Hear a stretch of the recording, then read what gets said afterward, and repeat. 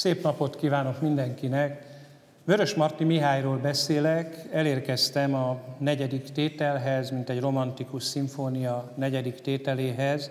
A Csongor és Tünde drámai költeményéről szeretnék beszélni. Lehetne ennek a tételnek a ö, ütemjelzése, hogy meditabondo, tehát elmerengve, és tudom, hogy a klasszikus szimfóniákban nem ez a negyedik tételnek a ütemjelzése, hanem sokkal erősebb, dinamikusabb jelzeteket kap, de hát ez egy romantikus szimfónia, tehát itt meg lehet ezt is tenni.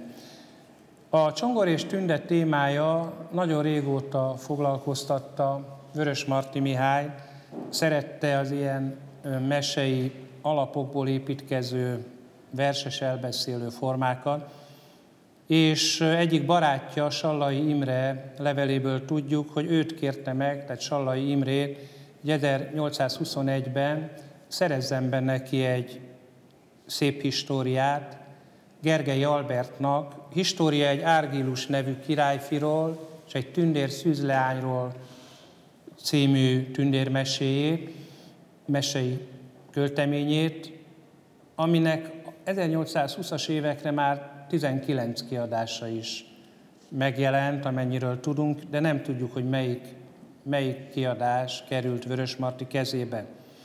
Ö, mindenképpen ez az egyik ösztönzője, ez a történet a Csongor és Tündének. A mű 1830-ban készült, és 1831-ben meg is jelent Székesfehérváron 500 példányban. Kölcsei Ferenc, aki kézbe kapta ezt a történetet, először fanyalgott, elolvasva a szöveget, meg is írta egyik barátjának a következőt. Csongort olvasám Pesten, és mivel a drámai akció nem képzeletim szerint ment, alkalmas hidegséggel. Itthon elolvasám másodszor, magamban, és harmadszor ismét sógorasszonyomnak. Ezen harmadik olvasás megkapott. Ezer oda nem valók és másképpen valók mellett is csongor kincs. Hidd el nekem, édes barátom, a mi Vörös Martink nagy költő, és ritkán nagyobb, mint Csongor sok helyeiben. Minden dramaturgiai kritizálás ellenére, akár ki mit mond, én a nemzetnek Csongorért szerencsét mondok. Érezni a szavakban azért a kettősséget is, mert azt írja Kölcsei, hogy azért ezer oda nem való is van, és hogy dramaturgiai kritizálásokat is lehetne tenni, és ezt meg is tették sokan, de azért a csongort harmadik elolvasásra szívesen olvastam. Ez csak arra figyelmeztethet egy diákot, hogy érdemes egy verset vagy egy verses szöveget akár háromszor elolvasni mielőtt az ember elkezd róla beszélni, hát ha a harmadik olvasásra már megkapja, és tud róla beszélni. Arany János, miután elolvasta a Csongor és Tündét, regés színműnek nevezte, Gyulai Pál viszont, aki Vörös Marti Mihály egyik monográfusa volt, nem tartotta gondolatilag értékesnek a Csongor és Tündét, éppen azért, mert mesefeldolgozásnak nevezte, és abban csekély gondolati tartalmat vélt felismerni. Meg is írja a monográfiájában, Vörös Marti nem akarta semmi nemű filozófiai absztrakt eszme allegóriájává átalakítani a naív népmesét.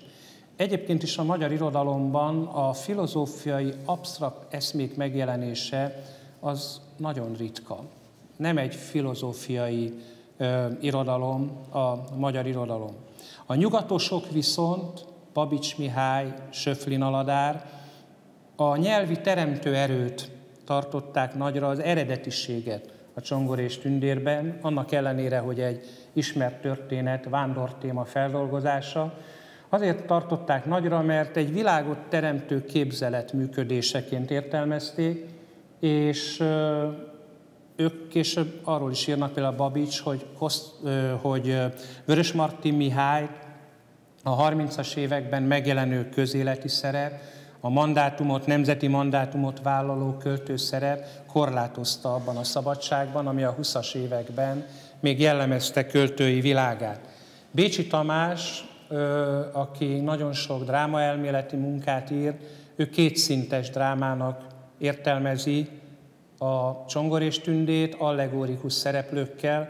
A dráma valóban két szinten is mozog, az egyik a földi létnek a szintje, amelynek képviselői főleg balga, és ha nem tündérként működik, akkor a felesége böske, valamint tünde világa, tündérhon, üdlak, ahova szeretnének eljutni a boldogságra vágyók, és azért harmadiknak megjelenik, bár nem helyileg, hanem képviselőiben az alsó világ is, hiszen az ördögfiak és mirigy az gyakran ezt a gonosz alvilágot, alsó világot képviseli.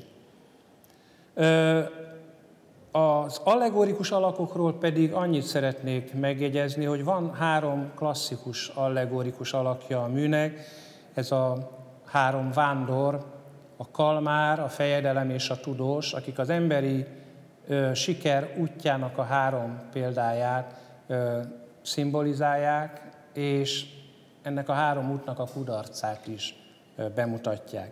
Vörös Marti emberképe, amely dualisztikusnak lehet nevezni, és már az előszóban is utaltam rá, hogy ez a dualista felfogás jellemzi Vörös Martit, többször megjelenik, az embert kétarcúnak tekinti, föld és ég fiának, őrült sárnak és Isten arcú lénynek, vagy ahogy az előszóban fogalmaz, félig Istennek, félig állatnak, és így beszél az emberről az éj asszonya is, az éj monológiában, az ötödik felvonásban, amikor Tünde kihallgatja a monológiát, az éj azt mondja az emberről, a por mozogni kezdett, és az állat, és királyi fejjel a lelkes porond, az ember lőn, és folytatá faját, a jámbort, csalfát, gyilkost és dicsőt.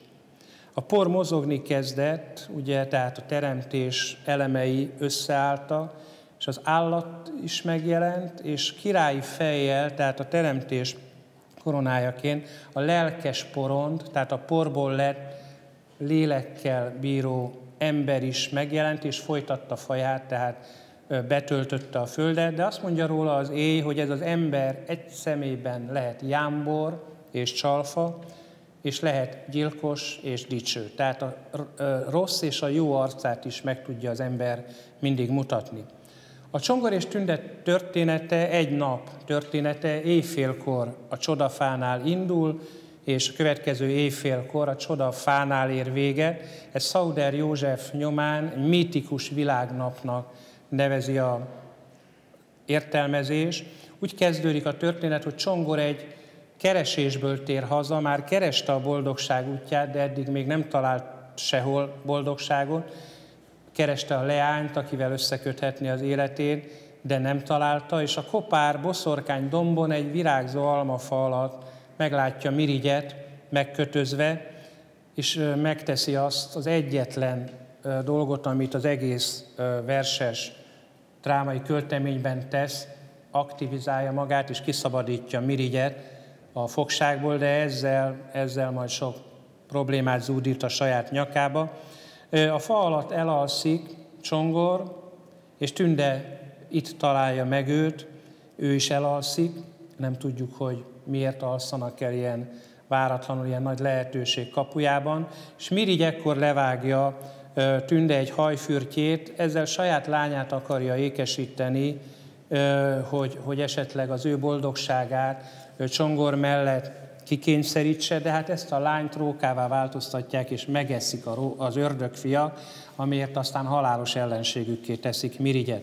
Csongor felriadva nem találja tündét már, nem is tudja, hogy mit tegyen, el, elindul újra a kertből, és egy hármas útelágazáshoz érkezik, és ez az útelágazás lesz majd az, ahol három vándorral találkozik, akik az ember három elképzelését szimbolizálják a boldogságról, a boldogságig. Ez a három ember, a kalmár, aki a pénz képviselője, azt képviseli. Csongor megkérdezi tőle, hol találja meg Tündérországot, Tündérhont, A kalmár azt mondja neki erre, itt van zsebemben a tündérvilág. Majd találkozik a fejedelemmel, a hatalom képviselőjével, őt is megkérdezi, hol van tündérhon. A fejedelem azt válaszolja, tündérhon ott van, ahol én vagyok. Majd megkérdezi a tudóst is, Csongor, hogy merre találhatja tündérhont. Tudós pedig azt válaszolja erre, mint aki mindent tud. Költők világa, szép tündérvilág, mi kár, hogy álom gyermeknek való. Tehát Csongor nem kap választ ö, ezekre a kérdéseire, a vándorok pedig elindulnak a maguk választotta úton. Viszont egy érdekes figura csatlakozik Csongorhoz, aki szintén útra kell, ez a figura pedig Balga, aki mint egy Csongornak az ellentéte emberi alakban, hiszen Csongor képviseli az idealizmust, az ideális világ keresőjét, Balga pedig a realitásokat képviseli, annak egészen földközeli változatát, aki igazából, ha látomást is lát, akkor az általában valamilyen étel vagy ital, és egy vágya van csak, hogy megtalálja a böskét, aki egyszer csak elszelelt, pontosabban tündérré változott, és ilmaként tünde kísérője lett, és ebbe valahogy balga a derék fér nem tud beletörődni. Azt mondja Csongornak a találkozáskor. Udvarodnál egy leány volt Böske néven, akit ösmersz. Ezt én eljegyeztem immár, és most egyszerre szárnya nőtt, mint az ájtatos közönség a faképnél a papot, itt felejtett, itt hagyom. És akkor el, elindulnak ketten, hogy visszacsábítsa Balga magához Böskét, Csongor pedig megtalálja a szerelmét. Találkoznak az ördögfiakkal is, akik ennek az alsó világnak a képviselői vagy manói, akiknek nyelve is egyébként sokkal arhaikusabb, sokkal régebbi időket idéz. Vörös Marti nagy nyelvművész volt, és a különböző személyek a csongor és tündében különböző stílus regiszterekben beszélnek. Így a három ördögfia legősibb, arhaikus kifejezésekkel szólalnak meg. Ezeket az ördögfiakat Csongor becsapja, versenyt futtat velük, és közben ellopja azokat a bűvös eszközöket, amikért az ördögfiak vetélkedtek saját örökségüket, ö, lopja el a bocskort, az ostort és a palásot, ezek mesei elemei a gondolatnál gyorsabb utazást lehetővé teszi. A következő szakaszban a hajnal birodalmába érkeznek a vándorok. Itt Mirigy várakozik, kővé változva, hogy bosszút álljon Csongoron is, ne sikerüljön neki a szerelmi beteljesülés, és bosszút akar az ördögfiakon is állni lányának a pusztulásáért, és ledért bízza meg, hogy Csongort csábítsa el, és utáltassa meg vele a szerelmet. Mint ahogy Balga Csongornak az ellentetje úgy lehet ledért Tünde ellentetjéként meghatározni, hiszen Tünde képviseli a tiszta szerelmet, a hűséget, ledér pedig a romlottságot és a csábítást. Öm, és hogy ledérnek nem válik áldozatává Csongor, annak egy oka van, hogy nem találkoznak, Nekik kellett volna Mirigy szerint találkozni, de Ledér Balgába botlik, akit korábban ugye a ördögfiak egy olba bezártak, de ő onnan eposzi héroszokhoz méltóan kiszabadítja magát, és ebből az olból való szabadulás után találkozik Ledérrel, aki, aki nem tud Balgával mit kezdeni, és végül megszökik. Csongort közben elaltatja az egyik ördögfi Kurrach, és az a céljuk, hogy visszaszerezzék Csongortól a bűvös eszközöket, amiket aztán Balga talál meg menet közben. Tehát Balga sokkal aktívabb, és a cselekmény inkább előmozdító szerepet játszik akaratlanul, mint Csongor, aki a döntő pillanatokban általában elalszik.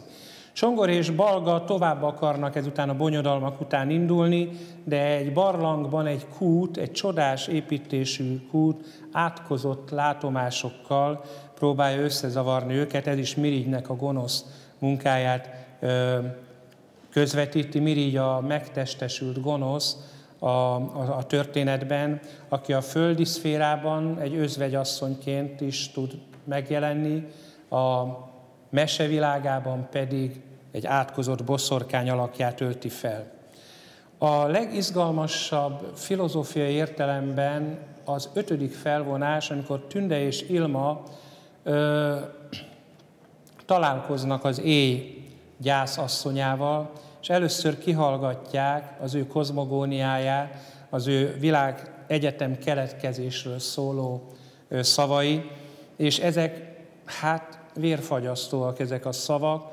Arról beszél az éj, ami Vörösmarty idő szemléletére is jellemző, hogy az időnek ciklusai vannak, és három sorban, három ismétlő sorban az éj tagolja a világ történetét, úgy kezdődik ez a monológ, sötét és semmi voltak, én valék, kietlen, csendes, lény nem lakta éj. Aztán beszél a teremtésről, hogy állt elő minden, utána a jelent úgy fogalmazza meg, sötét és semmi vannak, én vagyok. Megjegyzi azt is az éj, hogy ez ellen a sötétség ellen az ember állandóan küzd, világokat hoz létre, hogy a világosságot terjessze saját ö, életében és a, az egész emberiség életében, de minden munkája, mondja az éj, idővel megsemmisül. És végül a jövőre vonatkozóan az utolsó sorokban azt mondja az éj, sötét és semmi lesznek, én leszek, kietlen, csendes, lény nem lakta éj. Ez a sötét világmagyarázat romantikus költői világképében Vörös Martinak már kezdettől megjelent, már az eposz töredékekben is megjelent, és az utolsó versekig, az előszóig akár szorongatta őt ez az alternatívája a világnak, sőt az Emberek című 1846-os versében egyenesen sárkányfog veteménynek nevezi az emberiséget, vagy az előszó híres sorában arról beszél, hogy most tél van, és csend, és hó, és halál. A tünde ezután a, tünde ezután a riasztó monológ után megkérdezi a jövőről az éj asszonyát, aki száműzi őt a halhatatlanság világából, és földi boldogságra, egy rövid földi boldogságra ítéli őt, földi szerelmese oldalán, Csongor közben visszaérkezik a hármas úthoz, és újra találkozik a három vándorral, akik utazásukban kudarcot vallottak. Akit érdekel, olvassa el, hogyan értelmezik saját kudarcukat a kalmár, a fejedelem és a tudós, mert rendkívül tanulságosak ezek a szavak. Az utat, amit Csongor megtesz, allegorikusan is lehet értelmezni. Az ő visszatérése a saját kertjébe, ahonnan elindult, ugyanolyan fontos, mint az, hogy tündét szeretné megkapni, mert a vándorlás az egy belső utat is szimbolizál, mert Csongornak igazában önmagában kell megtalálni azt a boldogságot, ami a beteljesülő szerelemmel valósulhat meg, amit eddig a világban nem talált meg, majd csak tünde áldozatával részesülhet benne. Ugyanis, amikor a kertben tünde újra megjelenik, és újra a csodás almafát, amit lehet egy termékenység szimbólumként is értelmezni, oda varázsolja. Csongor itt találkozik vele, a lefátyozott tündével, aki két utat mutat be neki, mielőtt felfedné kilétét. Az egyik út az a szerelmi bújdosás további útja, a keresés további útja, vagy pedig a földön egy boldog élet valaki mellett hűségesen, akit a szívében felismert, és miután Csongor ezt választja, ezután Tünde leleplezi a fájtlát, és kiderül, hogy ő az a hölgy, ő az a nő, aki mellett Csongor boldog lehet földi életében. Ilma pedig visszamegy Balgához, mint feleség, böskeként, és mindenki éli világát, boldogan, míg meg nem hal. A befejező sorai a Csongor és Tündének nagyon elgondolkodtatóak. Van egy kétsoros szerzői utasítás, A kísérő leánykák mindinkább elvonulnak, míg utóbb nem látsznak, azonban az aranyalma hull, és messziről imez ének hallatik, és akkor messziről egy ének szavait halljuk. Éjfél van, az éj rideg és szomorú, gyászosra hanyatlik az égi ború, jöjj kedves, örülni az éjbe velem, ébren maga van csak az egy szerelem. Ö, nyugtalanítóak ezek a sorok, hisz év, éj, éjfélről beszél, arról, hogy az éjbe jöjjön a kedves örülni, mert ébren az egy szerelem, a beteljesült szerelem van. Ezért nevezte Szerbantal is a dezillúzionista romantika egyik alkotásának ezt a csongor és tündén, hisz az égi szerelem nem elérhető, a földi szerelem pedig az éjszaka kellékei között állandó veszélynek van kitéve. Vörös Martinak a szerelemmel kapcsolatos véleményeire is, a kapcsolataira is elég nagy homály borult az életrajzban. Percel Etelka vagy Adél, ugye a családban Adélnak hívták ezt a kislányt, ő nevezte Etelkának. Percel Etelka iránti szerelme is úgy lángolt fel a 20-as évek elején, hogy senki nem vette észre, és a titkos vágy elcsitulása után 1843-ig semmilyen kapcsolatáról nem tudunk. Sajági Laura feleségül vételéig Gyulai Pál szerint nem voltak kapcsolatai a költőnek, ami azért hihetetlen, mert például amikor Laurának az Ábránd című verset írta, az Laura iránti érzelmek egy olyan felfokozott romantikus érzelemvilágot közvetítenek, ami úgy érzi az olvasó, hogy ennyi érzelemmel nem lehet szerzetesi életet élni majdnem tíz éven keresztül, amíg a házasságát meg nem kötötte. A Merengőhöz című híres vers, ami jegyajándéknak született Csajági Laura számára, pedig már egy megállapodott, lecsillapodott, középkorú férfinek a világ képét közvetíti, aki a házasság kikötőjének biztonságára vágyik.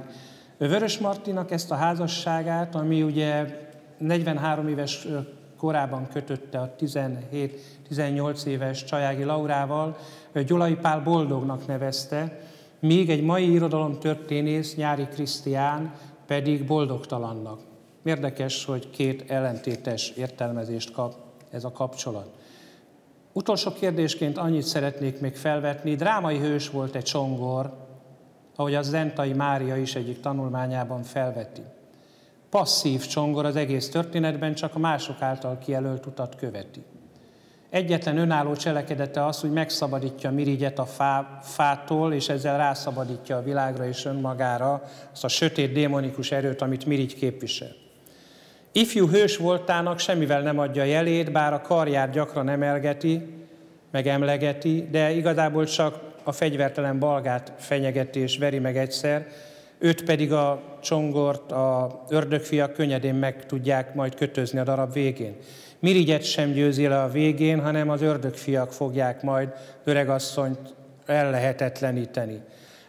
Az ördögfiakat pedig, akiket ugye Tünde a legvégén szolgálatába fogad, Csongor becsapta, amikor ellop, lelopta tőlük örökségüket.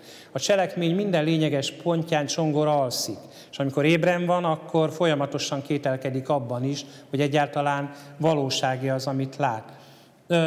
Ennek alapján dönts el mindenki, hogy lehet-e drámai hősnek tekinteni Csongort ebben a történetben. Csongor egy kicsit emlékeztet engem azokra a 20 éves fiatalokra, akik úgy kóborolnak a virtuális világokban, mint hősünk, a kozmikus nap helyszínein és időszakaiban.